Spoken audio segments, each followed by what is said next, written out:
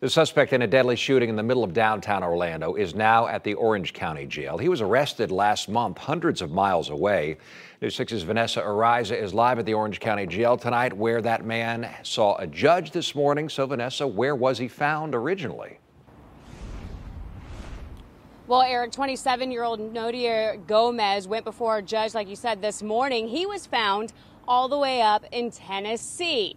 Uh, agents found him there brought him back here to Orange County so he could appear before that judge. You were arrested for first degree murder with a firearm and attempted first degree murder with a firearm. Those charges stem from the morning of January 26th. Orlando police say it was around 2:30 when people began to leave Club Lit. Surveillance video from that night shows 22-year-old Kevion Smith getting punched in the head.